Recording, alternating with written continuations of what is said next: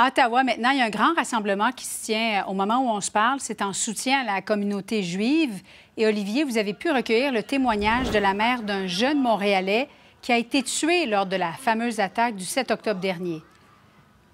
Oui, Julie, souvenez-vous de ce jeune homme, là, Alex Look, un Montréalais dans la vingtaine qui faisait partie malheureusement des victimes de l'attaque du 7 octobre. Lui, il était au festival Nova, ce festival de musique qui avait été pris pour cible par les terroristes du Hamas.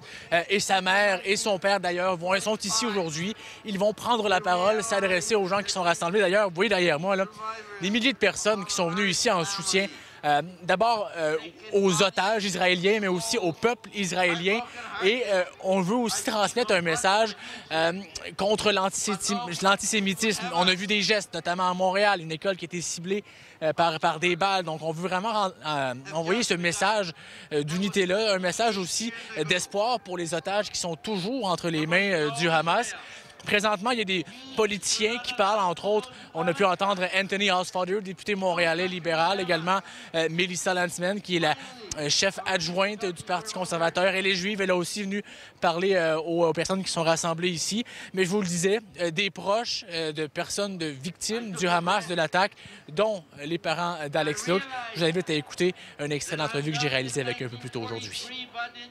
Je trouve que c'est super important parce que mon fils, un, Canadien, en vacances, s'est fait tuer d'une façon barbare en Israël par le Hamas, des terroristes. Et on voit des, euh, des manifestations pro-palestiniennes, genre le lendemain, si c'était euh, libérez-nous du Hamas, je marcherais avec la Palestine. Parce qu'ils ne servent pas à rien pour qui que ce soit. Ni les Juifs, ni les Palestiniens. Et mon fils était un garçon très courageux. Il a protégé plusieurs personnes le jour du massacre. Donc on essaye de s'inspirer de sa force. Et c'est pour ça qu'on est là aujourd'hui. Olivier, il y a des personnalités d'ailleurs qui s'apprêtent à prendre la parole. Oui, et euh, parmi elles, il y a Denis Coderre, imaginez-vous, Julie, euh, ancien maire de Montréal, mais aussi ancien député fédéral de Bourassa et ancien ministre de l'Immigration. Et c'est dans ce contexte-là qu'il va prendre la parole dans les prochaines minutes, M. Coderre. C'est parce qu'il était de ceux qui avaient euh, travaillé pour mettre le Hamas comme organisation terroriste au Canada, donc d'attribuer cette désignation au groupe terroriste Hamas à l'époque. Je vous invite à écouter ce qu'il avait à dire plus tôt aujourd'hui. Quand un ami tombe, les vrais amis, c'est ceux qui aident pour le relever. Alors, euh, je pense qu'on a besoin de démontrer notre solidarité. Il n'est pas question de négocier avec les terroristes. Et de toute façon, moi, comme ministre de l'Immigration, j'ai mis Hamas sur la liste des euh, terroristes au Canada.